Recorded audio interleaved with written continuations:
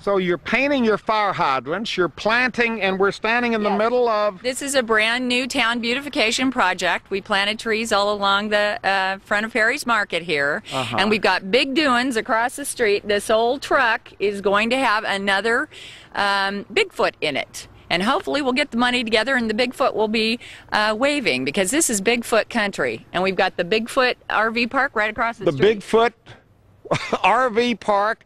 All right, this brings up the whole subject of Bigfoot. We haven't talked about it much until now, but we are in the heart. Happy Camp is in the heart of Bigfoot country. Bigfoot Towing. And here, right in front of Bigfoot Towing, I assume you're the owner of this establishment. Yeah. Your name is? Wayne Scott. Now, is Bigfoot towing, how big is Bigfoot around these parts? Uh, it's started years and years ago. Uh, loggers, you know, and the Indians, local Indians, had the superstition of Bigfoot, and uh, a lot of them believe in it, and some of them don't. You know, What about you?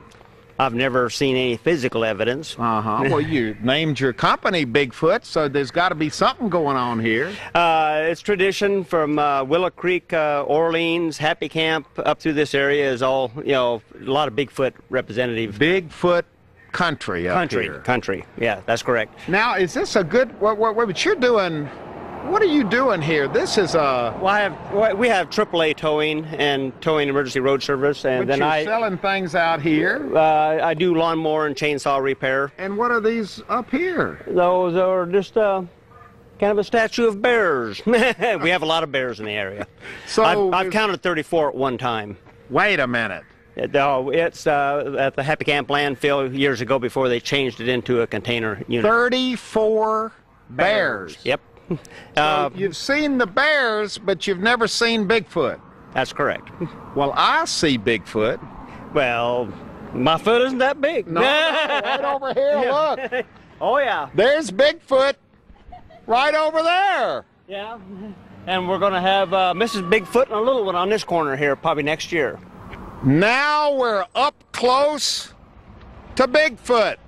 And Rita, this was a community project here, right here on the main drag, Highway 96, the state of Jefferson Scenic Byway. You can't miss this thing. Absolutely. You know, uh, Happy Campers are a real get her done group. And so Cheryl Wainwright came up with the idea years ago, and they put it together with their own money and scrap metal. They and everyone volunteered, and they created this piece of art here right on the corner. Wow, you can't miss it, can you? Uh, no, there's uh, people every day stop and take their photos in front of Bigfoot. They know that's Bigfoot. oh, yes. And you're going to have Mrs. Bigfoot over across in front of your place. That's correct. and you're going to have another Bigfoot down here in that old truck He'll be waving. waving. Yep, saying hello. How are you? So this whole place is going to be taken over by Bigfoot. well, you can see him all the time. All you got to do is go out in the woods. no, no, this guy's been looking for. He's never seen him. That's all. A, well, maybe he is out there. He's certainly standing right here. And you know, we've been traveling around looking for the mythical state of Jefferson, which originally, when it was proposed, was going to include four counties in southern Oregon mm-hmm. and three counties in northern California.